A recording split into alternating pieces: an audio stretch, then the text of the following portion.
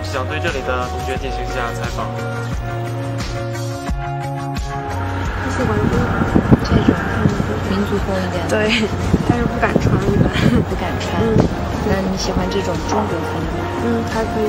中国风平时挺有味道的。平常有穿这种中国风的服饰吗？嗯，没有。为什么不尝试呢？不敢穿出去，感觉太跳了。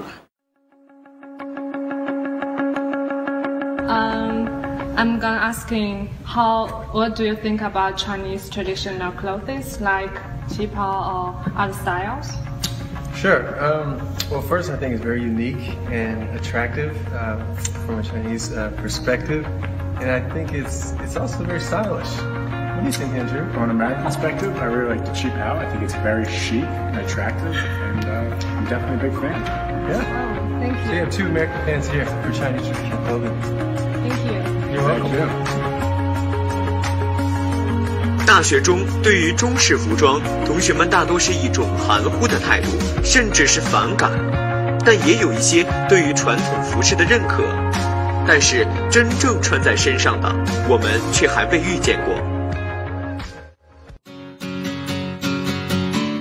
北京，中国的首都，是中国的政治文化中心，中国经济的决策和管理中心。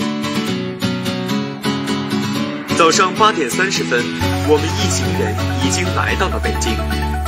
透过这座城市快速的生活和厚重的雾霾，我们依旧可以感受到老城区浓浓的京韵。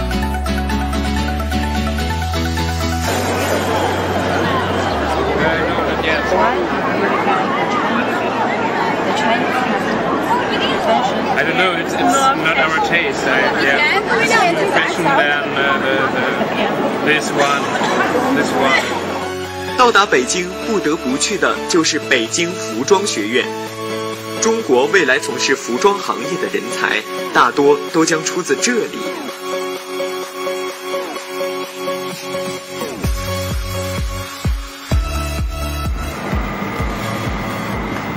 就是不喜欢。还喜欢挺感兴趣，挺感兴趣。不好啊，就是觉得能穿出气质的人很少啊。好看。可以换一遍。就是觉得可能是做的太太复古了一点，太复古了，就是不够不够新潮了。那你有设计这些有设计类这种类型的衣服吗？还没有过，还没有，就是还没有。好的，谢谢。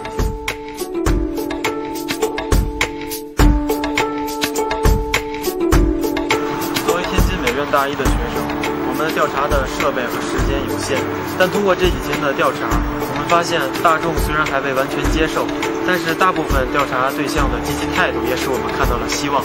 也期待这部视频能够使中国传统服饰文化传承下去，也算圆了我们一个中国梦。